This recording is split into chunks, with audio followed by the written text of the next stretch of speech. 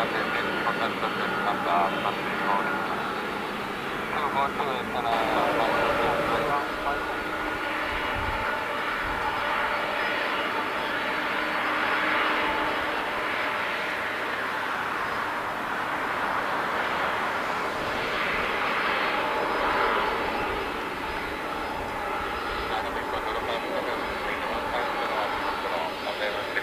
we're down to c o n t